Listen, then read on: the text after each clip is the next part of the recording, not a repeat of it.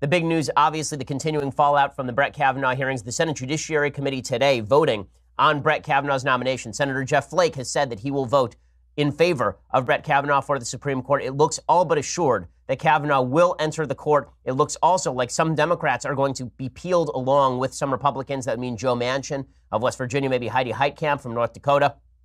It looks like Brett Kavanaugh probably ends up on the Supreme Court by early next week, which is as it should be.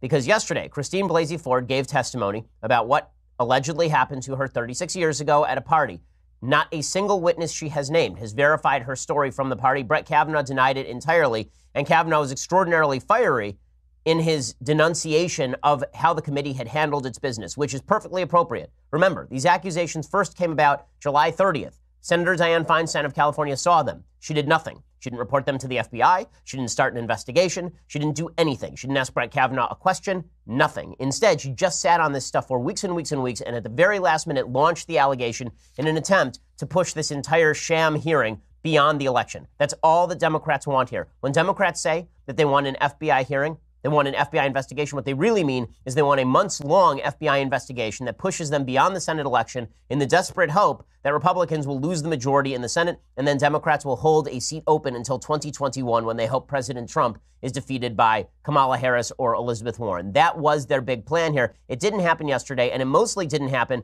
because Brett Kavanaugh fought back. He fought back by really coming out strong. And we'll get to the media response to all of this, the Democratic response, which is just egregious and disgusting. But we begin with Brett Kavanaugh's actual comments yesterday. Brett Kavanaugh started by saying that his life has been destroyed by the committee, has been destroyed by allegations without a scintilla or iota of corroborative evidence. As was predictable, and as I predicted, my family and my name have been totally and permanently destroyed by vicious and false additional accusations. The 10 day delay has been harmful to me and my family, to the Supreme Court, and to the country. Okay, so he is exactly right about all of that. And this hearing was turned into a farce, as he made clear. He said, "This, you guys have replaced advice and consent, which would be all about the political views of my judicial philosophy, and you've replaced that with search and destroy, an attempt to destroy my life, destroy my family. And Brett Kavanaugh is exactly right about this. The reason this resonated with so many conservatives is for, there are really a couple of reasons. One, the Me Too movement has been militarized into an allegation is made, we destroy your life. Not proof of an allegation, not multiple allegations, not credibility of an allegation, none of that. An allegation is made, we destroy your life a mildly credible allegation is made, your life is over. And there are a lot of people, conservatives and non conservatives, who are looking around and saying that could happen to literally anyone. I was talking to a female friend last night, somebody who's led a pretty rough life, actually, and she was talking to me about the fact that such accusations could be leveraged against anyone. Literally anyone. I'm, as I've said before, the cleanest person in American public life when it comes to matters sexual.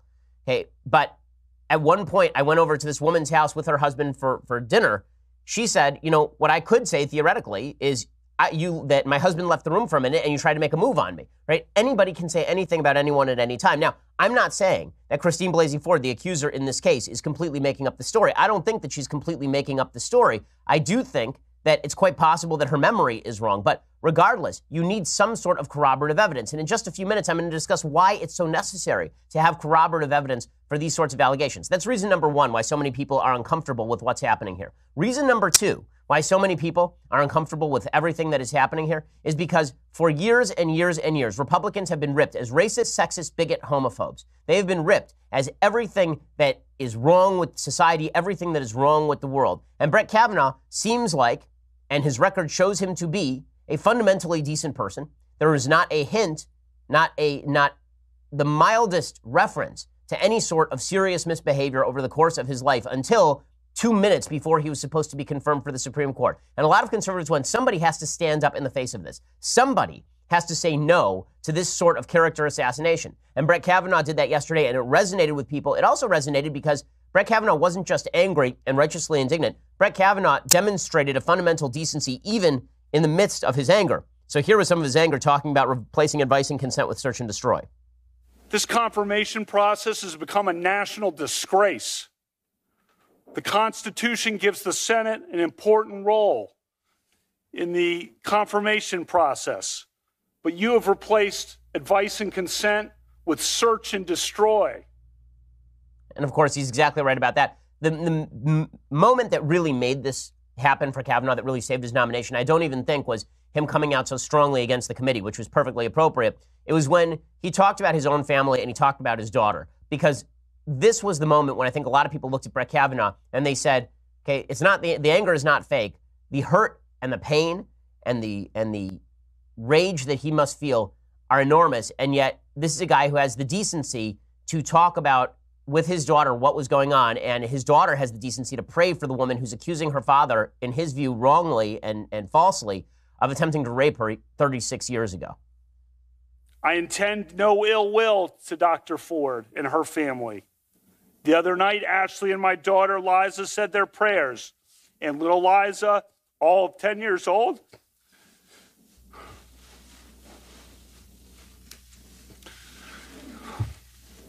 said to Ashley, We should pray for the woman. It's a lot of wisdom from a 10 year old. Okay, all of this really did save Brett Kavanaugh's nomination. Now, what happened next is that Lindsey Graham came into the room. And to understand how monumental this was, you have to understand who Lindsey Graham is. The senator from South Carolina is not exactly known for being a firebrand. That is putting it mildly. Lindsey Graham is about as milquetoast a human being as it is possible to find on planet Earth. It's one of the reasons why the Republican base has never been fond of Lindsey Graham. They've always thought of Lindsey Graham as the very soft spoken gentleman from South Carolina who sort of wanted to go along to get along with the other side of the aisle. He voted in favor of the nominations of Sonia Sotomayor for the Supreme Court. He voted in favor of the nomination of Justice Elena Kagan for the Supreme Court. This is a guy who has a reputation for bipartisan work. Well, he came into the hearing room, the Senate Judiciary Committee hearing room yesterday, and he launched into what is going to be seen as one of the great all time Senate speeches. Really, I mean, this is one that people are going to remember for quite a while. He launched into Democrats, and he said they have destroyed the entire process here, and it is disgusting what they have done to this man. What you want to do is destroy this guy's life, hold this seat open, and hope you win in 2020. You've said that, not me.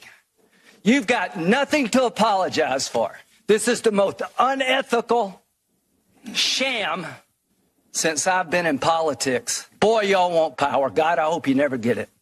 I hope the American people can see through this sham that you knew about it and you held it. You had no intention of protecting Dr. Ford. None. She's as much of a victim as you are. Hey, it's and this was a moment. I mean, it certainly was a moment because the fact is that this was mob justice being brought to bear against Brett Kavanaugh. And Lindsey Graham stood up and said, no, there has to be some sort of process here. There has to be some sort of corroborative evidence. President Trump tweeted yesterday, and this was clearly, I think, written by staff, and it was a good tweet. He said, Judge Kavanaugh showed America exactly why I nominated him. His testimony was powerful, honest, and riveting. Democrats' search and destroy strategy is disgraceful, and this process has been a totally sham and effort to delay, obstruct, and resist. The Senate must vote. Okay, he's exactly right about all this. Now, how will the Senate vote in the end? How will the how will the Senate vote when it comes down to it?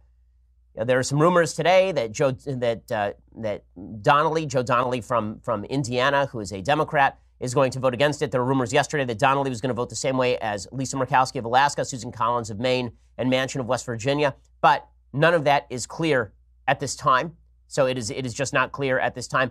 What is clear is that the Democratic outrage over all of this is just insane. It is just insane. Jill Filipovic, who is a, a feminist. Uh, she's a, she wrote a book called The Feminist Pursuit of Happiness.